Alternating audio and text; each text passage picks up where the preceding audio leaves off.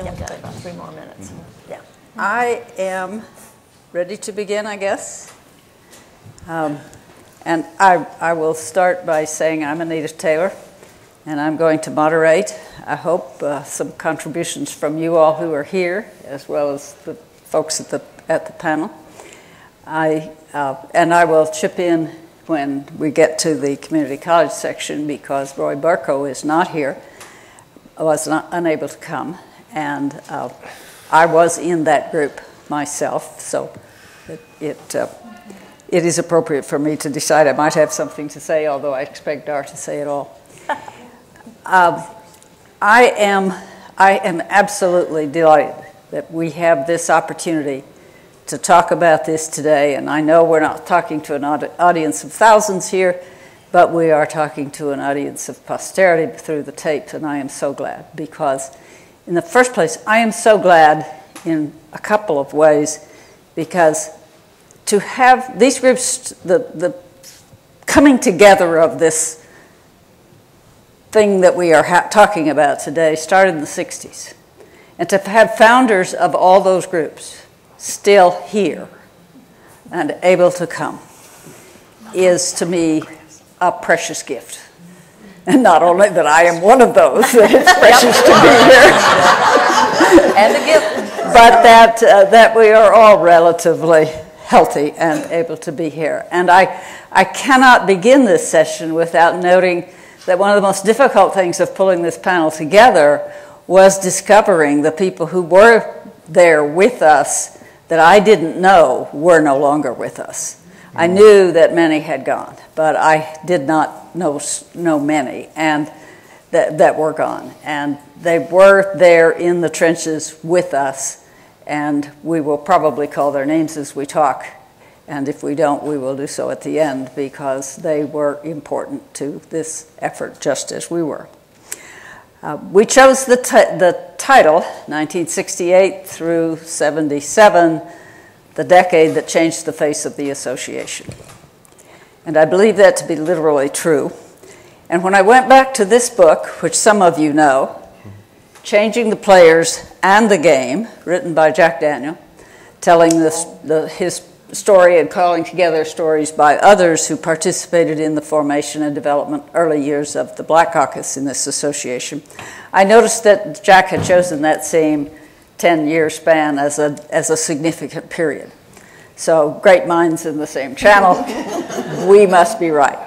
Um, I invite you to get a copy and look at this if you haven't. Jack will talk about some of it. He obviously cannot talk about it all. My, our, our pattern for, uh, for talking with you is that we will start chronologically, and that means we will hear from Jack Daniel and Mel Cummings who were present and involved in the establishment and creation of the Black Caucus. And uh, that was a, they were, they were great role models for those of us who were involved. Uh, Bobby Patton, who was involved, although as, as Quincy said earlier, I think there were times in the early days we didn't let him come to the meetings of the Women's Caucus. Quincy Brown, who was involved and one of the people who was on the list of 29 people who went to that very first meeting, and I was there myself. So we will go to that, uh, to that group first because that group of people first got together in 1970.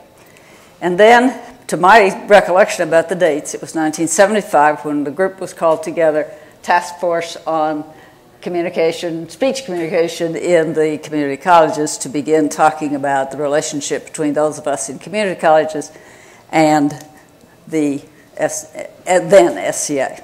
So, with that order, Dar Wolvin is talking about the uh, community colleges, and I've introduced Quincy Lee and Bobby, and they will go in order with no for more interference from me unless they start talking too long, at which point I will pass them a piece of paper that says, tie it up. Jack. And you should know that Dr. Melbourne Cummings told me that of the two of us, I was going first, so I don't have any choice. So much for alphabetical. By, by way of background, I want to mention two things. Um, in 1968, the association was under fire for not being, quote, socially relevant. William Work was the executive secretary. Uh, at the time, I was a black revolutionary at the University of Pittsburgh, and the word had spread. And so, being a black revolutionary, as I deemed myself back then, Bill Work asked me to chair this committee on social relevance in 68 here at the Palmer House in Chicago. And I was trying to do that, but it turned out that Molefi Asante and Charles Hurst were even blacker revolutionaries. Uh, they took over the floor and said, of all the social relevance thing, the most important thing is the stuff about black people. So they just messed the whole social relevance meeting up. and that night we met in uh, Hurst's room, and the six or seven of us founded the Black Caucus, and we, although we didn't call it that. So, and then following that came the various groups.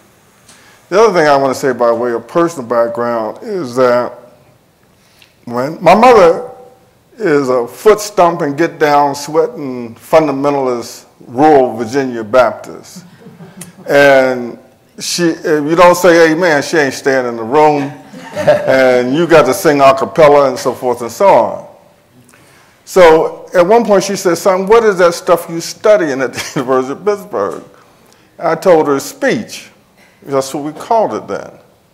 She said, speech? How can you get a doctorate in speech? I said, Mama, that's what I'm studying. She said, son, you ain't gonna make it. I said, why not? She said, you can't sing. She said, I've heard you speak.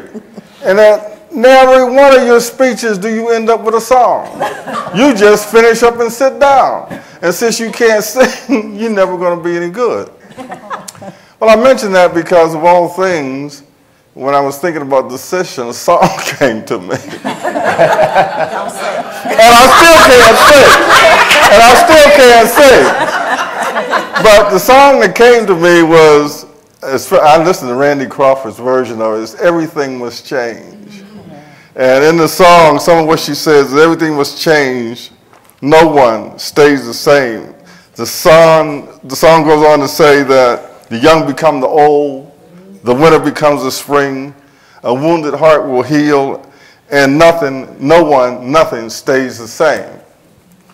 But the thing about all of that is, as you know, is that every, although everything changes, the question is whether or not the change is significant. Now, just a quick illustration.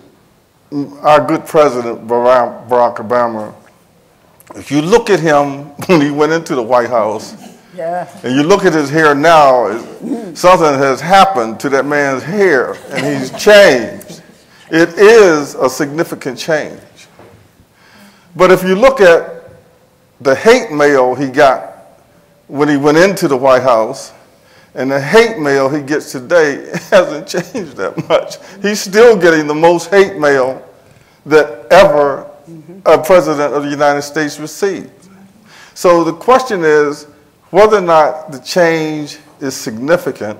And for those of you who are in the quantitative area, you know we have these standard deviations and tests of significance and so forth. And we get into whether or not the change in question is statistically significant.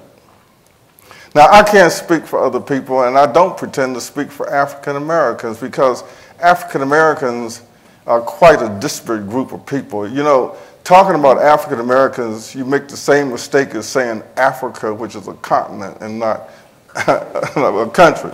So I can't talk about African Americans. There's too many different people flying under that umbrella of African American and black in America these days. But if you're talking about those people who I refer to as descendants of slaves who have been serving their time here in America, when it comes to the Speech Communication Association and under its new name, since 1968, it is my opinion that not much has changed.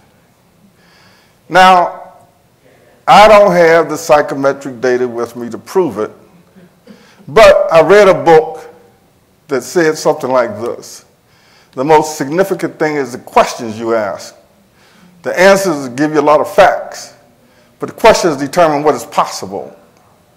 what answers are possible. So if you say, who made the world, then you answer in terms of an agent or agency. But if you ask how the world began, some other answers are possible. So since I don't have the psychometric data, I'm just going to ask a few questions and be through.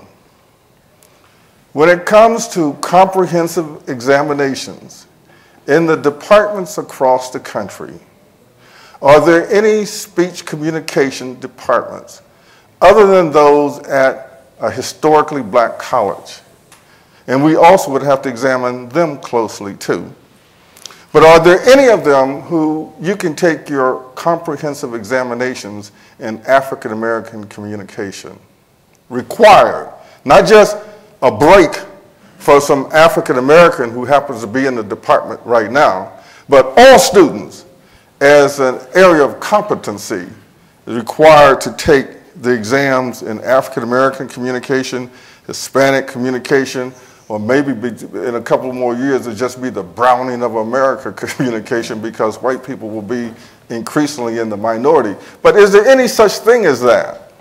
If there, this is taking place, I would call that a significant change, but I don't know where that is. Let's take something called full professors, chaired professors. Can we even find 1% of the chaired professors and full professors in speech communication departments who happen to be African Americans? Let's take academic administrators.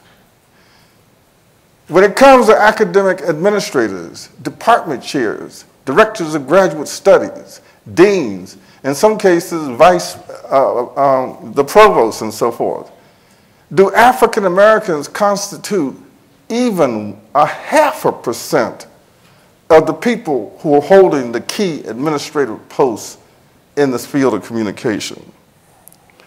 Curriculum. I know that they say, you know, Jack, you can teach that black rhetoric course of yours, and it's so wonderful that you're doing that. And, but we're going to have to put it in as an elective. Uh, because they still have to take persuasion, and they still have to take, and they still have to take. But if we could find anyone with a three course sequence on African American communication to get past this notion that everything about African American communication can be in a single general introductory course, but Europe requires postgraduate work, then I would think there was some change. Students, I know you would like to hire some, but you can't find them. I've heard it too many times. Well, you're never going to find them, obviously, if the pipeline remains empty. So, where is the aggressive plan across the country to increase the African American undergraduate student pipeline? If that aggressive uh, program doesn't exist, for me, change is not significant. Senior administrators. A comment flew across the association, and it just, I didn't know it would return so soon. I believe that's Brother Taylor back there in the back. Yeah, it is. But every now and then, you know, like Halley's comet, that African American flies across the association and makes president. And then it doesn't come back again until you re- elect Ron Jackson in a few days. And I hope you do that. you can at least do that. But the comment goes and comes. But African Americans substantively, systematically participating in the business of this organization, mm-mm, mm-mm. and the association itself. I look for the aggressive plan for diversity that has goals and timetables and accountability and rewards and sanctions. I, I, maybe this is retired. I just retired this year, so maybe this has gotten to me, and I just can't do research the way I used to, but I can't find it. So, in sum, if there were no Black Caucus today, is there was no, if there were no division. I asked some people earlier, would there be really any programs on black communication at this one centennial anniversary? Uh, I looked, I told some, I looked at the business meetings and I said, other than the business meeting the two black groups are having, do black people really participate in the business of this association? And so I know some people are going to tell me there's been some change because after all, Orlando was president and we're about to elect Ron Jackson as president. But that's not even a 1%. it's not even a whole percent.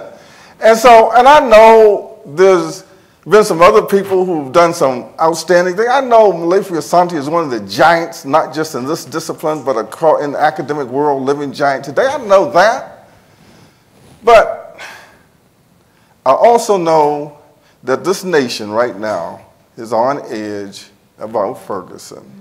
I know that people are so worried about my brothers and sisters, they don't even think they can accept a jury decision. So, uh, so I better stop because I don't know if people are liking what I'm saying or not, but I didn't come to be here popular. But I just want to say one last thing. The whole situation reminds me of Hughes's poem about you taking my blues and gone and fixed them so they don't sound like me. But you know what he says in the end? But someday somebody will stand up and sing about me and do the right thing. And you know what he says? I guess it'll be me. So we're coming. Thank you.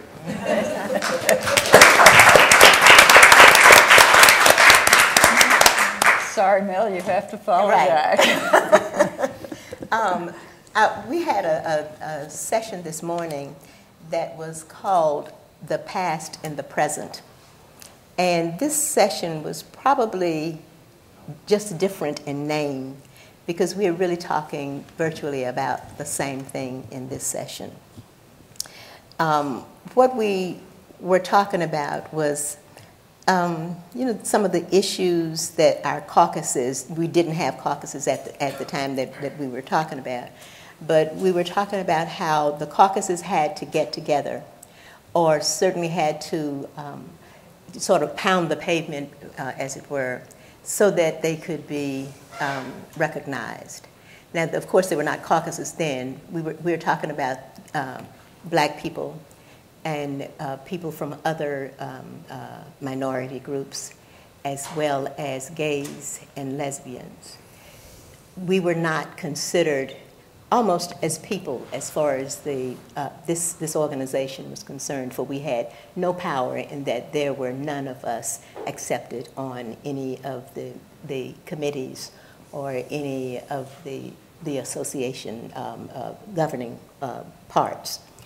And so we virtually had to get together so that we could do something to alleviate those kinds of difficulties and get together so that we could be seen and heard for the most part, since this was a, um, an organization of communication. Um, our younger colleagues would probably find the attitudes and the behavior of many of their mentors outrageous, mean spirited, and certainly unjustifiable. Others simply would, um, would or at least could call what was going on at that time as um, something that was so egregious that there was just no justification at all for it. They probably believed in uh, their beloved mentors as they talked. But now, or if they found out about it now, they would, um, they would just find that they could not believe what they said, what they did. And as a matter of fact, those mentors would probably look back at their lives and say, How could I have done that? There's no way I could have. I, the color of, just because someone's skin color was different or someone's hair was different. Um, those were the kinds of, of just justifications or, or, or, reasons that they uh, uh, decided that they were not going to allow us to do what they were doing as scholars. It was almost most as if the schools that we were going to were different from the schools that they had gone to, even though they sat beside us day by day. What I'm trying to remember now is not the 50s and 60s, uh, when segregation was the law of the land. I'm recalling the 70s and 80s, when practically all of us who were in the, this room were dealing with segregation. Um, or the, the, the, the, um, the, the, things that ended segregation. Uh, for it had already been defeated. And I'm talking about debating and fighting with some of the most educated people in the world, some who are probably ashamed of themselves and even now would say that they, they can't believe that they could have done what they did or said what they did or thought what they did but it really did happen, and in some instances, it happens now. But because of the, the um, ability of some of our forebears to decide on getting these caucuses together, we were finally able to get a few things done. Initially, this organization discriminated blatantly that only the brave the extremely determined radicals among us, like Jack Daniel, um, would venture to speak or to bring her undergraduate students to meetings. The her is a, a, woman uh, who has died. She died about three years ago. Uh, she was a, a, faculty member at um, uh, a predominantly black institution in Baltimore um, Lu- Lucita Hawthorne, some of you, I know you remember that she decided that she would give the organization a demonstration of not just what the organization already knew or had seen from television about black people singing and shouting or on their knees shouting, uh, praying fervently. She decided instead to reenact riots on stage that would spill onto the audience. She brought them here. And she would have them to move everyone to tears by going right in their faces sometimes. She was, um, she was, she was quite de demonstrable with her students, just to let this organization, for example, know what it was like to be discriminated against. For a long time, it didn't work but she continued. Their monologues would bring the audience to tears, while caucus members sat finally triumphant. Uh, of course, each of you knew that we, as a very small group of blacks, were not as strong and not as outspoken as some of you because you were already sticking together you were already one people and you were already a part of this organization. No one walked out. Um, we stood our ground because we knew we had each other's back. But it had to take that kind of cohesion for the organization to begin to notice, to begin to listen. They only listened because they had to notice something. And this was being taught to, to not only us, but to youth, that something had to be done to change the way this organization treated its minorities. And this didn't happen easily. It didn't happen immediately. For we fought for a very long time because as Jack said, they were in the organization at least five to 10 years before a lot of us came. But they stuck it out until people like Lucia and some other people came in and started to help them. We continued to do similar things all until we were able to get others to, to sort of join us. And one of the people who joined us was this lady over here. Um, she, she marched, she talked. She was on the legislative council, and several other people were as well. And because of some of them, they started nominating names of people that they knew so that we could begin to have um, a voice in this organization. There were other things besides racial inequality in the United States and in this organization, but there were other, um, uh, other inequalities um, with other people that were also a part of this organization who had the same degrees that they had. And those degrees had come from the same institutions that they had come from. So there was absolutely no reason to say that one group was more important and smarter than the other because they were taking the same courses from the same professors, doing the same papers, et cetera, et cetera. So this is what we um, are, are talking about today, about how this organization has come from the bowels of what the United States used to be to what it is now. And though we're not as pure as we could possibly be, we are so, so much better, especially for those of you who um, did not know how it was during that time. And, and the, the years, 30, 20 years ago, it's not really that long ago because I see people in this, in this room who were a part of it and uh, who can remember all the things. My, my name, discipline actually uh, in, in Maryland were a part of it then. Not as well as we know each other now, but, but we knew each other. Um, younger colleagues would have found the attitudes uh, of their mentors just outrageous, mean-spirited, and they were, and certainly unjustifiable. Others simply could or would not find it possible to believe that their mentors could hate people who had not done them any harm, who did not know them, um, and they were only uh, doing this to them simply because of the color of their skin. We all know about this. What I'm trying to remember is not the 50s and the 60s, when segregation was the law of the land. I'm recalling the 70s and 80s in this organization, when, I don't know, when segregation had really been defeated, and I'm talking about had been, you know, we gotten laws and all of that that we had fought against. This organization was just like the United States had been.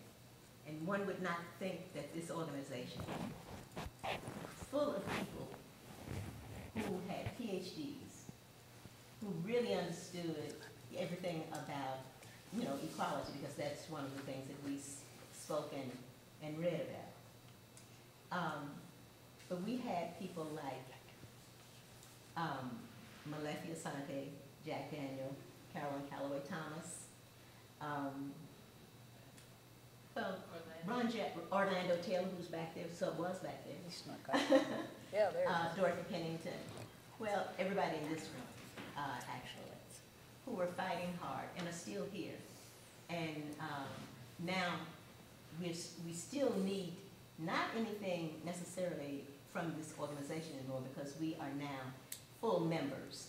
And I, I, I'd like to say that because of certain people uh, who were in, in, in this organization at that time, we were able to finally um, come to an agreement with the National Council that, that uh, we would be able to, to be considered full members.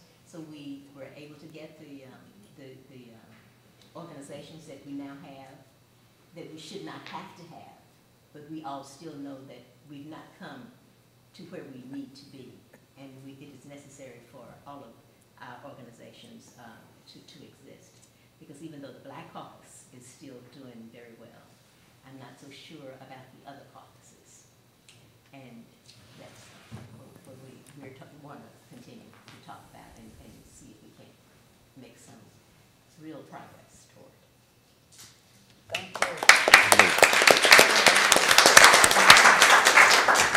And as somebody who was mostly a bystander looking on, but learning lessons, No. I could, I could tell you that the Women's Caucus went to school on what happened to the folks who were, these incredibly brave folks and their colleagues, and I'm so glad you mentioned Lucia, She was wonderful in bringing those students. She was wonderful in bringing herself and standing up and saying, in not an minced language, that, that things needed to be changed. And into that environment walked Bonnie Ritter, Quincy Brown, uh, Bonnie Patton, or Bobby Patton, uh, along as an ally, and a number of other people. And yes, uh, so talk to us about the Women's Caucus. Uh, we decided to combine our time and have so we can have some give and take uh, in the few minutes that we have. And uh, I, am here because of my uh, marriage to Bonnie Ritter for 18 years. And so I, I, sort of thought of myself on this program as Mr. Outside, and, and to use a male uh, football analogy, uh, Ms. Inside, because Quincy Lee was there in the meetings and participating in the meetings, and so she can give you uh, that perspective. And uh, this has been quite a challenge, and it's been a difficult process uh, trying to remember the chronology and fit the important pieces together after more than 40 years. And we, so we thought we'd talk about before the caucus, the beginning of the caucus, and then if, if we had some time after the caucus uh, was formed. Uh, but before the caucus, and I, I, will start back in 1963, because it was, that was the year that Quincy Lee and I first became professionally associated at what was then the University of Wichita, where I was debate coach and she came as the assistant debate coach. And Bonnie taught at Wichita East High School uh, where I, in the audience, one of her debaters at the time, who went on to debate for Wichita, Bill Balthrop, uh, was a student. So uh, the interrelationships go back for decades here in terms of our story. And I have to say that Bonnie uh, was actively involved uh, to create equality, and uh, she had been involved in various civil rights activities. Uh, and uh, at Kansas, she pursued her doctorate, where I had joined the faculty in 1966. She completed her doctorate in 69. And, uh, and I'm going to tell how it led up to the caucus, but I think Quincy Lee should tell about some of this background.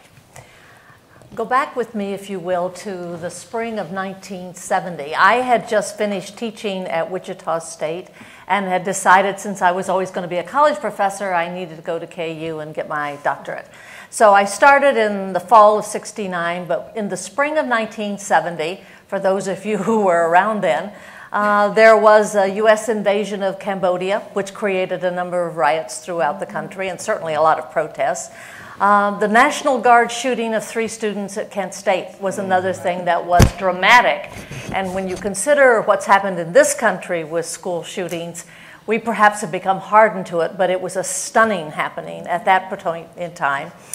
And um, the civil rights movement was still moving along, struggling through all of the struggles that they had started back earlier and were still going on. And as Bobby said, Bonnie and to me, to some extent, had participated in all those activities. That spring of 1970, um, while all of that sort of rioting and protesting was going on, um, the student union, at least a good half of the student union at KU, was blown up. So they closed the campus immediately, sent all the undergraduate students home, and a lot of graduate students um, stayed on campus because we were adults and we lived there. Um, and we set up a communications center the, on the campus through the Office of the Dean of Women. At that point in time, there were posters all over campus saying that there were two women from San Francisco who were setting up women's consciousness raising groups.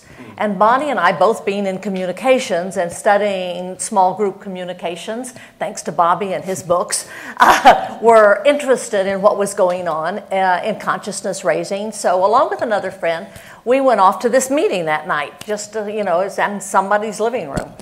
And there were probably 40 or 50 women in that living room that evening. And so these women talked a bit about what was consciousness raising and how did you do it. They gave us a, mentioned a couple of resources that we could read. And then they just said, one, two, three, four, eight, you go off and be a group. So uh, there were three of us that knew each other and five people who were absolute strangers. And we all just got up and walked out. And the nearest place we found was the unblown up part of the Kansas Union, which had a ladies' room, which in front of the ladies' room they had fainting couches and couches for people to rest who were delicate and whatever. So that's where we held our first meeting. Um, if you have defining moments in your life, that was one for me, the beginning of that group. Uh, a couple of people dropped out. Uh, we added a few, and in the end, we ended up with about 12 of us who stayed together once a week, except for an occasional holiday, for two years, two solid years. We would meet starting at 7 to 10, and then it became 6 to 11. And that group became one of the things that changed us all forever. Um, so if you look at what's happened in your life that changes you forever, that was it. But that also led to Bonnie and me and others who had gone through similar kinds of experiences as women uh, being interested then in coming to SCA, and I'd been a member since I was in college in 1960. Um, so we were coming to SCA and noticed, and for example, just a few odd statistics. Uh, men were 72% of the association, women 28. Um, males were 91% of the officers, hmm. and women 9%, which probably doesn't surprise anyone. Division chairs, 84% male, 16% women. So women were active and were participating, but in extremely small numbers. And so we got together literally in the 1970 meeting. It's, it was, there's a record of us having gotten together. Uh, I think it was in Bobby and Bonnie's room, and Ronnie bought some yeah. wine. Yeah, and a lot were, of wine. Yeah, a lot of wine. there were 29 of us at that first meeting. I, Nita was there, as she said, and that was the beginning. We decided we were going to form a women's caucus. Um, interestingly, the Legislative Council of SCA then formed a committee on the status of women during that legislative session in 1970. And they appointed um, Carol Taylor as, um, as the and chair. Anita, do you remember Carol? I do remember Carol. Yeah. I, I've, I've lost touch with her. I lost tried to find her. I couldn't. Okay. Yeah, and we haven't been able to find her, but she was active for a long time. Yes, a And many- very active in the foundation have- of the caucus. The foundation, and then seemed to have, uh, have vanished. So the Legislative Council did form a committee on the status of women. The next written record that we have is a letter that Bonnie, and we elected Bonnie as our chair in a very ad hoc sort of way. We were totally unofficial at this point. But in uh, 1971, we asked for a room to have an official meeting, and SCA officially gave us a room to hold the Women's Caucus in 1971. We did get together and we did elect Bonnie chair.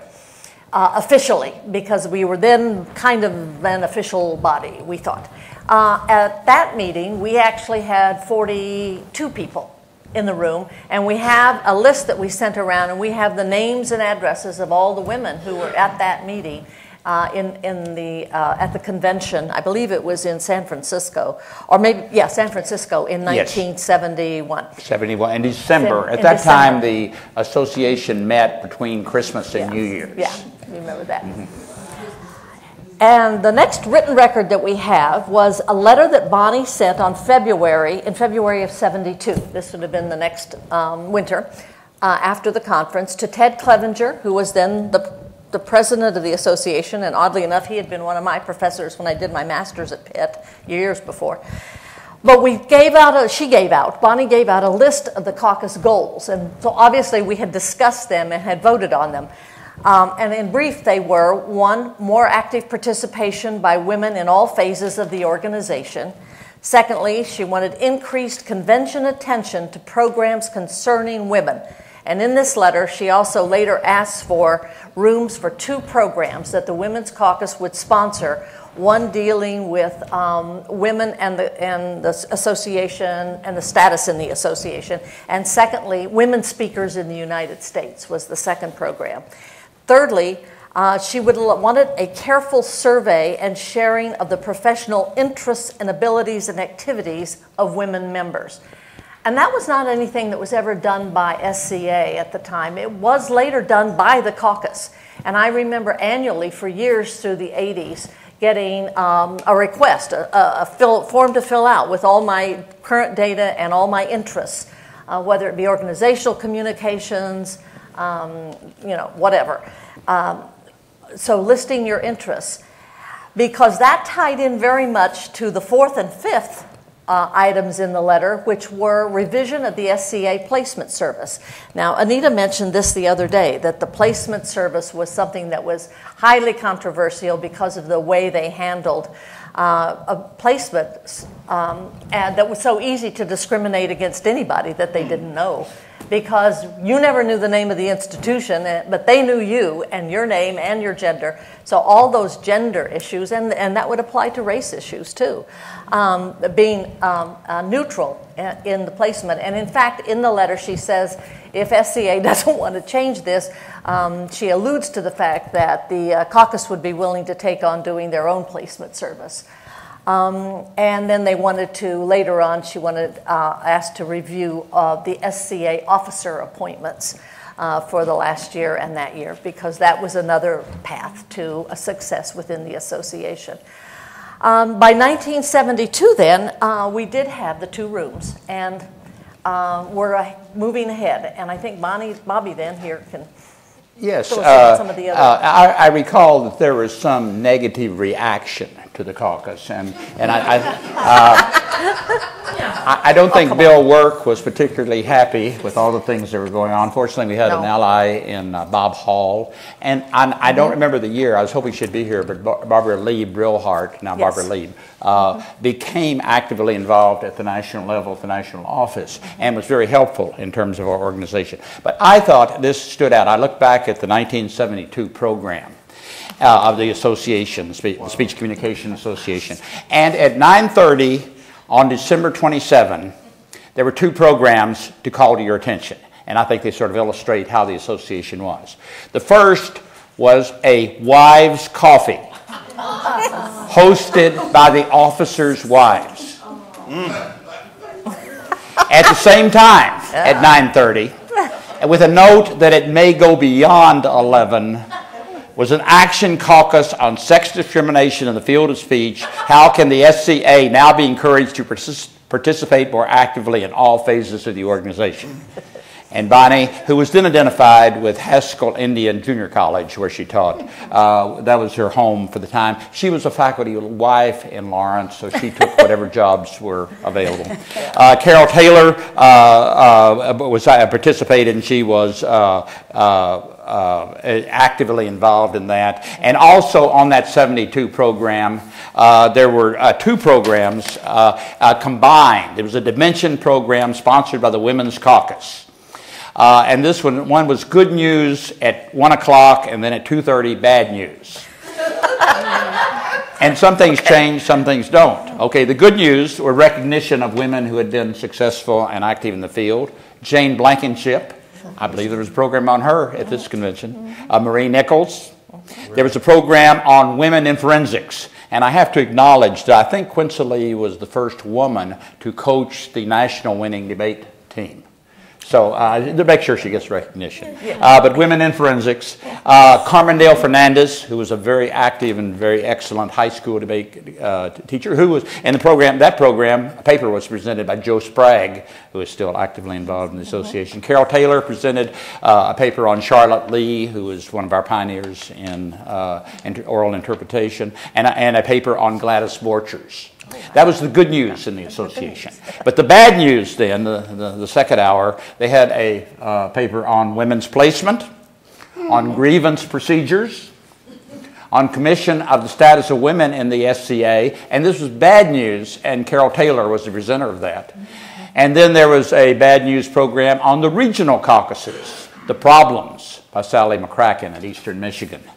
So this was uh, the beginning of the caucus. And uh, then things moved quickly, and I, I- I don't think we have time to go. We- If, if we discuss things later, we'll talk about some of the obvious implications. Yeah, Bobby.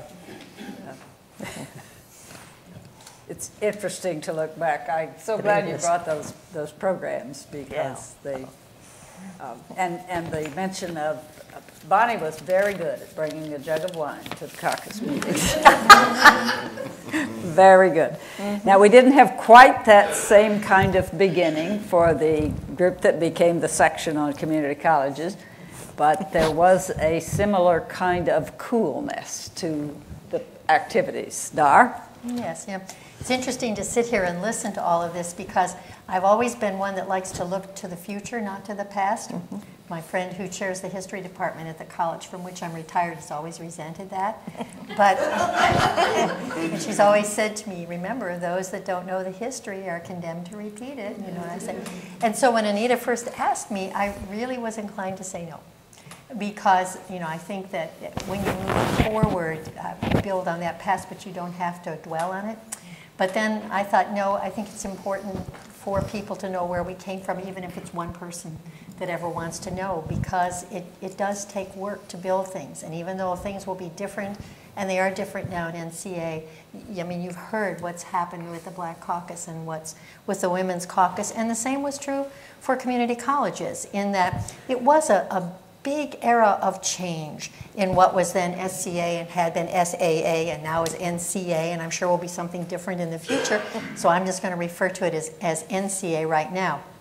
And that was that from, from my point of view and those of my colleagues in the community colleges, it was a very staid organization, a successful one.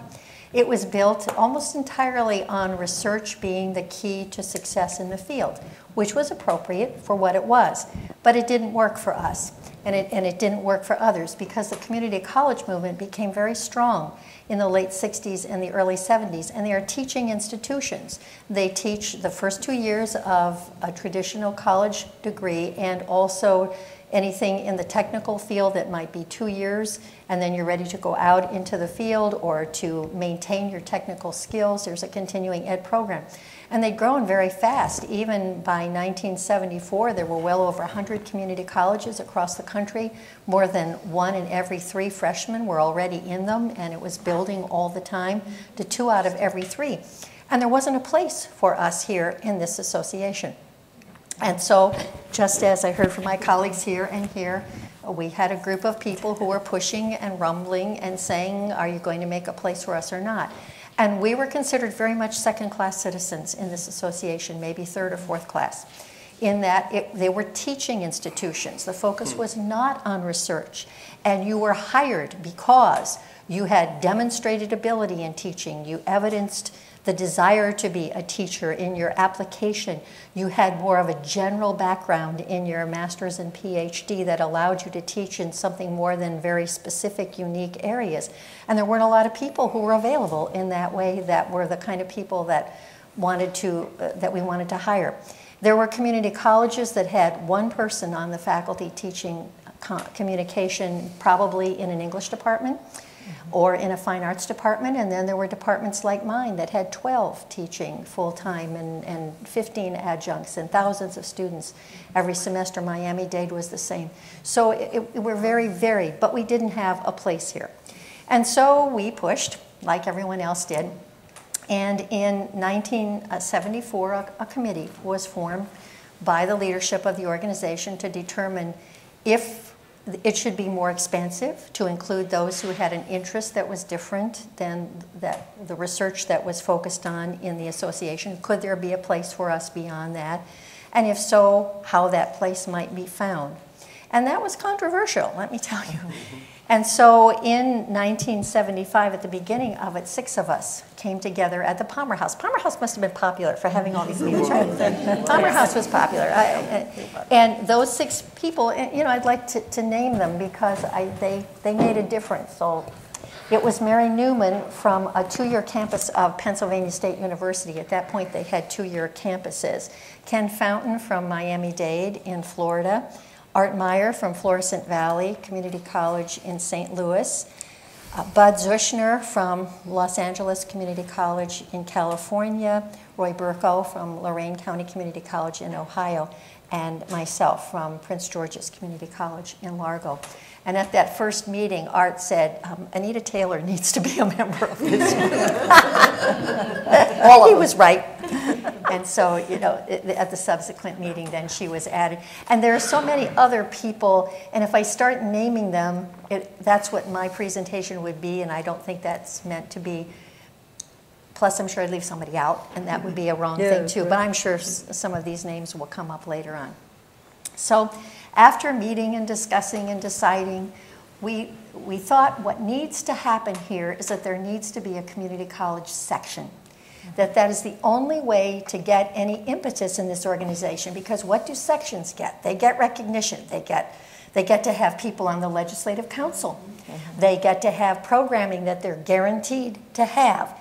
They probably can get a seat on the Educational Policies Board, which indeed did happen down the line. And so that's what we needed. Oh, well, that was very controversial because that caused a major change. You know, now you're going to have a division of these people hmm. whose focus is not on rhetoric and public address, whose focus is not on, on instructional development and research in it. And so we needed to pull together a pet- petition with at least a, a hundred members, and it had to be presented, excuse me, to the Legislative Council. And I will say that the Instructional Development Division was very supportive in that they even formed a subgroup for community colleges within the section to give it more visibility and, and in that way to say they should be having their own programming, they should be having a, a place here. And so um, it went forward to the Legislative Council. It was debated for two days, on and off. I got tired of sitting there. But, uh, but ultimately, the vote was very strong. Not certainly not unanimous, but strong to formulate this, at that point, division, because that's what there was. Well, then the major controversy became why are they a division? Because they don't have a research focus within the field. And it really didn't make that much difference. And I think that Bill Work, who was ex- exceptionally upset about that, uh, came up with, well, let's have sections, see? But then it was going to be only a community college section. So how does that work? All these divisions and a section. So what was decided was that there would be a section now at the level of instruction. So it became the elementary secondary section, there was one, the community college section, the university section, the applied communications section, and the students section. So now there were five, all right?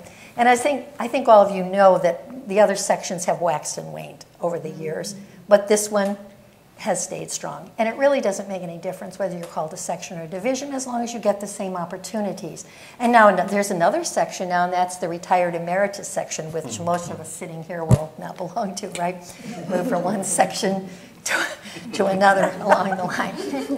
And so, um, in order to make sure that this division, but consequently section, really was viable, it really took a lot of campaigning on the part of those of us who were trying to get it set up because you know there was no social media then. Everything was done by mail.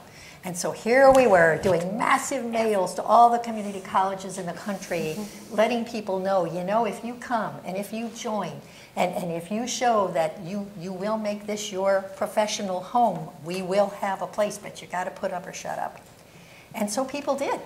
At that first meeting, I mean, people joined, and there was a really good turnout to the first section meeting, which was in 1975. And I wasn't there. My twins were born two days before that meeting started. Oh, Yep. you were Yep. busy. You know, and I've always regretted that I didn't get to go to that meeting, but people were great. They got on phones and, you know, they talked to me. I was in bed, blah, blah, blah, blah, you know, in those days. And, um, and so I took part in that way. But it was an exciting time then. And has it been easy over the years? Oh, certainly not. You know, like for example, that section now meets, they have their two business meetings from 7 to 8 in the morning because it's the only time they can guarantee that everybody who sees that as an affiliation can come without any other kind of pull or draw. And people come. I mean, I was really pleased to sit at the first one the other day, you know, and I counted 65 people sitting there. And that's something, it's, you know, at 7 o'clock in the morning, particularly when you had to get on the bus if you're over here and, and go over to the Palmer House, and they don't even start running until 7.15 from here. So, you know, it shows that when people feel that they have a home, and you do have to have a home base in an organization, you'll go out and you'll, you'll go to others, you know, but you have to have a home base where you belong. And I, and I think that's what has happened here. Now, I, I want to also say that the community college faculty members have contributed to NCA. For example, the GIFTS program that is so popular where you're taking back teaching ideas, um, that was founded by the community college section. Three of the um, past presidents are from community colleges. Sharon Ratliff and Anita and Isa Engleberg are from community colleges. What is now called communication teacher was first um, done on our campus by Isa Engleberg. Twisted her arm, pulled it all together. You know, we, we did everything but publish it, and now it's a major publication. So we give back as well mm-hmm. as take, too. And I do want to end, I have two minutes, so I want to end by telling you this little anecdote, which I think kind of exemplifies me in so many ways and how it, it took a while for us to find a place here, and my colleagues have talked about this too. Like I say, we were second and third class citizens in this association for a long time. And one of my esteemed colleagues at an Eastern university that I will not name walked up to me one time at a convention after we'd had the section about three years and said to me, You know, I am really frustrated. We have this PhD candidate, and she's never really going to be a good researcher or scholar. But, you know, she can teach, and she belongs in a community college. He said to me, Can you imagine? Mm-hmm. And, and I'm trying to be polite. And he said to me, and she's applied to several because, you know, there seem to be a lot of jobs out there right now. You people are really mm-hmm. growing. And he said, and she's not getting any interviews. And I said to him, trying to be polite, I said, well, you know what? Maybe in her application, she's not talking about her interest in teaching.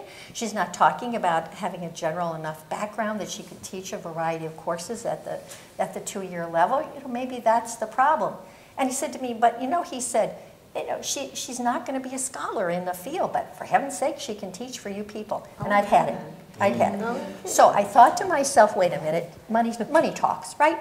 And, and I look at AAUP, I knew what the salary ranges were, and I knew that his esteemed institution didn't pay the salaries we did. So I said to him, I said, you know what? I said, you and I are comparable. We both share a department that's about the same size. I said, I don't know what your salary is. I said, but you know what? I'm going to tell you how much I make. I said, and then let's see how you feel about this person that you think could only work for us. So I told him. His jaw absolutely dropped. I was serious, it did. And he looked at me and he said, What did you just say? I, I repeated it again. And to his credit now, he smiled, he looked at me and he said, How do I apply? and my response was, You know what? I don't think you're qualified. but thanks for the interest. We, we appreciate the interest in it. But he and I became friends. You know, we, we had a respect. We served on committees. Um, you know, so we found our path, I guess, and we find our paths in many ways. And it's been my pleasure to be here with others who have found their pathways too. Thank you all. Um, I, I love that. I will, I will only add, as a, as a person who was present at the beginning of both of those, the last two organizations, well, I was present at the beginning of the other one, I just wasn't involved, um, except as a, a, person who did my best to help you to go along. Um, I remember, I'll share one incident. I remember one time, and by this time I think I had been appointed to the finance board. And I'm sure I was appointed to the finance board because I was a wonderful double token. I was both a woman and a member of a community college faculty.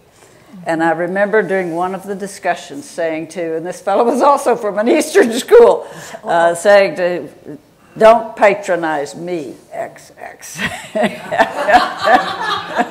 we'll have to see if it's the same one later. Well, we, we thought of this program as an opportunity, and I appreciate Jack making us look toward the future as we look back, and our, uh, certainly share your concern about looking at the future. But this was, in my, as I thought about it, a way to look back and not let us forget those stories of the past.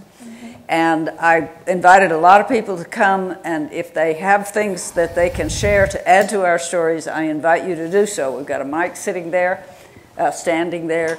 Um, and I'd be happy for you to, uh, to come and share a story. As people are coming forward, I just uh, uh, talking about after effects. Things happen very quickly.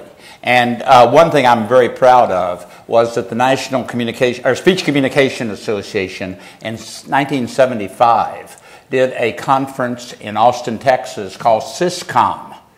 And uh, uh, it was uh, combined with another meeting called MASCOM, so MASCOM and SISCOM, and Bonnie and I were two of the facilitators. Uh, Liz Carpenter was our keynote speaker. We had a great attendance. All of the attendees are listed here in the index, and it was a great occasion. And it was reinforced by the presence of many of the officers uh, who were participating in this. So all of a sudden, uh, the Women's Caucus was recognized and effective.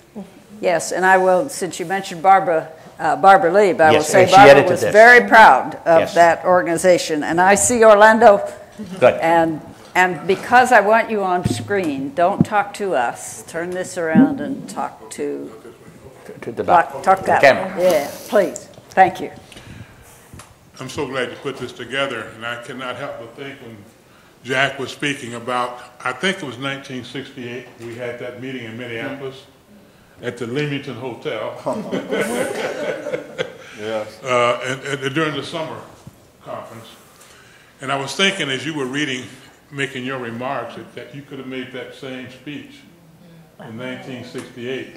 And the fact that you're making it today, 45 years later, is a bit depressing. It is true. The fact that you have to make those kind of statements reflects on not only our past, but also our challenge going forward. The other observation I, I thought about was, uh, it was actually made, it was brought up earlier today in the earlier meeting, when the past presidents reflected on the 1968 situation in NCA when we, in fact, many of us had written a, a petition to move the convention from here because of what some call the police riot that took place here in Chicago. But uh, the move was to move to New Orleans because uh, uh, it was difficult to move, change contracts, and so forth. We went to New Orleans. Many of us, Judy Pearson comes to mind as one of us. We were some of the ringleaders of that. We said we should not meet in a city where interracial communication was not comfortable. I mean, while they would let you in the hotel, if you were a black man walking on the street after the meeting to have lunch in New Orleans in 1960, 70, I guess it was by then, 70, yeah. you took your life into your own hands. So we, we did that. But the big point here is that uh, then, the, then you had the women's caucuses and you had the issue with community colleges. Seems to me that the lesson learned here is that there are a lot of marginalized aspects to our association to this day. And Jack, you contextualized it. And there are other aspects as well. Gus Friedrich reminded us, us this morning only 18 women have been presidents of NCA out of 100 years. I think that's 18% in an org, in a, in a discipline that's probably 80% women, thereabouts, roughly. Something's wrong with that picture. Your numbers about leadership, we didn't even talk about Latina presence, presence of uh, Latinos, either one. We have a lot of work to do, and I hope that the main message here is that there are common concerns, and so it speaks more for coalitions across the caucuses toward um, voting patterns, getting people elected to office, uh, policies enacted, and with the numbers that we have, actually, you talk about you, we can run the association. Just the women alone, the majority of the population, right? They are Then you throw in the other groups. So it's up to us, I think, to try to build greater coalitions across the inner caucuses so that we can, in fact, bring about the changes that obviously need. I think I'm getting a cold. Thank you. And, and for the record, that's Orlando Taylor. And If I could Jack, follow up on your comments. yes. Um, I was just wondering what would happen if all of the caucuses, divisions, sections could come up together with a resolution to this association and request that this association conducts a formal survey of diversity within this association, and based on the results of that survey, formulate a five-year action plan. I think if we could get, I don't know logistically how to do that, or whether people would even agree, but if all of us could come together and request, if not demand, that that take place, and do, the association conduct that formal survey, and based on those hard data, um, develop a five-year plan, that would be tremendous. That, that's a great idea, if we could follow, and you're right, demand, follow in Lucia's footsteps. She never requested, she demanded. Uh, Are there others of you that have tales that you would like to share with us for the record? Well, then I have a request for the record because not everybody will have read your book, Jack, and other people have not lived through those days. Would you recount for us not the not the details of you met, but the the feeling and the experience and some of the response you all got when the Committee on Social Relevance became sort of in the background while other matters became Yeah, it was, it was, well, first of all, the, the room was packed. I have to give the general membership credit. It was standing room only. It was a big ballroom, and it was standing room only, and they had set aside a special time for it. So there were people who were seriously committed. Uh, across the nation, students were sitting in, demonstrating. Uh, books were being written about violence on campus. And although there were people, in a way, I guess for me, the members of the association were, I don't believe I'm saying this, but they were mild mannered compared to the real people I confronted in my life. I mean, back home, I was dealing with people who were carrying guns for real. I was joking about being a black revolutionary, although I didn't know what the hell I was doing at the time. but the fact of the matter is, I was dealing with people who was carrying guns. I went to New York. Rhody McCoy was talking about um, community control of schools. I stood up there like a nut and gave a speech about the Malcolm X model of communication, where Malcolm said, you can't speak to people in a language that they don't understand. If they speak the language of a rope, you got to get a rope. And I went on from there. that night, on my door, I went, hey. And I rushed to the phone, dialing the zero or whatever number would go through. They start hitting and banging and said, I'm gonna just tell you on the record since you asked. They said, nigga, have your black ass out of New York the first thing in the morning.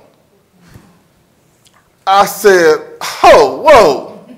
So they ran. The next morning, I had to give another speech. so, in true Malcolm form, I went in, friends, and I know some enemies are in the room because last night this is what they did. But they didn't know I did have an advance reservation to leave around noon from New York City to go back to Pittsburgh. So when you ask about the association, my life was threatened three or four times at gunpoint blank. I mean, people disagreeing with me about what I was doing. Well, nobody in the speech association was carrying a gun. they, were just, they were doing mild mannered things such as having a wine corking for women. So for me, in a sense, the association was duck soup in terms of some of the things that we were trying to get done. But for others, it was intense. But there's another part of the intensity that doesn't get talked about publicly. Uh, African Americans, black people, were in a lot of dissonance as this was taking place. Uh, not all black people wanted to have a black caucus. There was disagreements in the rank. I'm sure up and down in the same groups, there was Yeah. disagreements in the rank. And sometimes the disagreements within the ranks were much more intense than the actual frustrations that actually that took place with the members of the association. So it's, it's, it was, Thank you. I, I think that's important because while there are a few of us here who were there and know the intensity of those days, and Quincy Lee, you laid that out very nicely. Of- I mean, 68 was a very uncomfortable year for all kinds of reasons. Uh, including, as some of you will remember, that the Central States Association was was meeting here in Chicago uh, on April the 4th, Yes. 1968. Yeah, I remember getting off the plane, and that was the news, the shooting of Martin Yeah, Luther King. Yeah, and, and uh, so that was, that, that year was a difficult one. wow. And, uh, but it was time for people to stand up, and, the- and you all were incredibly brave. We had, yes, a dissonance in the rank, and there was some, some of the, I mean, women were most likely to be propositioned, not threatened. Yeah, yeah. Although there is a kind of, pro- a kind of uh, threat that comes along with the proposition. Um, But the, uh, and, and the kind of coolness to the community college folk, we were just ignored because we really didn't go. Uh, But nothing to be worried about. And, and If I might just add another quick story. You made reference to Ted Clevenger. Well, Ted Ted Clevenger was my advisor at Pitt. So, the, and you were asking about the kind of tension. I wanted to write a thesis. I didn't know there was something called interracial communication. I wanted to write a, a, a thesis that had to do with how people, black people, could determine whether or not a white person was sincere just on the basis of what they said. Just listen in an interpersonal situation and based on their comments, what were the indices of insincerity? Well, I was running around the newfound black. I had to compromise. I, my thesis entitled Negroes Perceptions. I couldn't I couldn't go with the black. I couldn't win that battle. Oh, I couldn't win that battle back then. When I got to my dissertation three years later, I could move on up to black and I could study black-white communication in the Hill District of Pittsburgh because we had a poverty program then, and so the government had endorsed this black-white thing, and, and, and so it went. So it was that sort of kind of tension in terms of, now, but then having done that, when I went to apply, and my first job was at Central Michigan University, and I'm up there, they're asking me about general semantics course and the psychology of communication and research me- quantitative methods in speech. I didn't want to hear anything about Negroes' perceptions of. So I could make that choice about what research I was doing, but my career was on the line. And so when I talked about the dissonance in the ranks, you couldn't just up and call yourself being a black communication scholar. You might be a black communication scholar just like the starving artist on the street. Well, and, and I like very much your, your willingness to lay it out right now and say how significant are the changes, because we do clearly have significant, not uh, significant, we do clearly have many changes that we can say from now, 68 to now. But I think it is, we raise a question of significance when you talk about the curriculum of things. It seems to me, and I will call it as I see it, uh, I think it is significant that in the distinguished scholar rank of this organization, Molefi Asante, who has nas- worldwide recognition as a rhetorician and theoretician of rhetoric, uh, is not one of those scholars. And so we have come a long way, but we have a long way to go. Remember that old commercial? Mm-hmm. Oh, yeah. Come Oh, you've come a long, long way, way, baby. Yeah. Uh, well, um, I think we have, with those tales, and, and I, we still have a minute or two if anybody has anything they would like to add. I am very pleased with what we have put on the record that will be there for people to see when the next hundred years are, are people come around.